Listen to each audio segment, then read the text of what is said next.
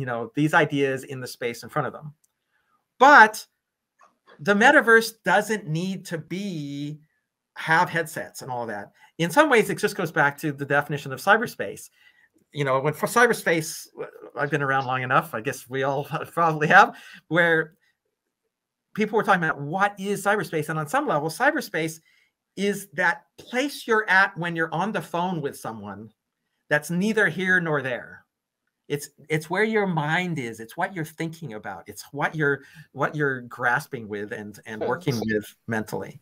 And to me that's what the metaverse is. The metaverse is a zoom call. The metaverse is i think the remoteness being in um, environments with each other even though we're not in the same room um, is an important aspect of it but not exclusive.